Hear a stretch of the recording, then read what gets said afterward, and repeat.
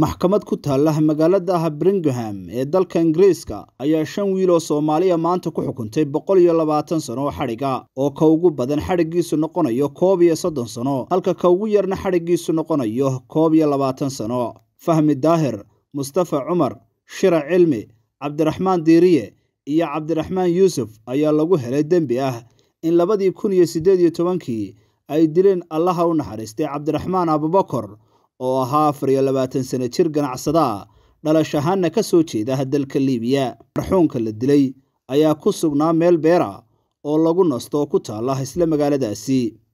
Waxaana u geeriyooday rasaasta oo caloosha kaga dhacday. Sababta dilkan keentay ayaa lagu sheegay in marxuunku ka tirsanaa kooxda ay wiilashani ka tirsanaayeen oo lagu magacaabo barbakiyo balse uu iskaga baxay kadibna dilkaasi ay ku beegsadeen dhallinyaradan soomaalida ah ee la xukumay ayaa ka ugu weyn da'diisu waxay ahayd toddobiyo labaatan sano jir siday warbaahintu tabisay inkastooo dadka qaar kiiskan ka hadlay ay ku doodeen in dilkan ay ka dambeeyeen dad soo adeegsaday wiilashan soomaaliyeed. Axmed seki ibraahim telefishinka c b a hargeysa.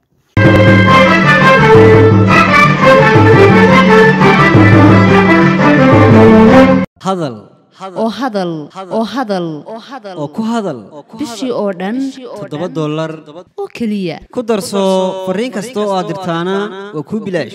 Haddaba si aad ugu shubato adeega kaafiye fadlan garaac xidig siddeed eber siddeed afargees ama xidig laba eber laba afargees.